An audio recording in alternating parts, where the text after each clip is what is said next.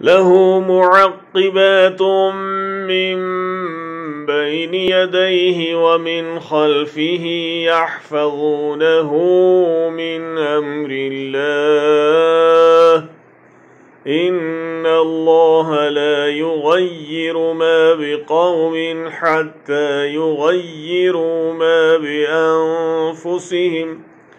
وَإِذَا أَرَادَ اللَّهُ بِقَوْمٍ سُوءًا فَلَا مَرَدَّ لَهُ وَمَا لَهُم مِّن دُونِهِ مِن وَالٍ۔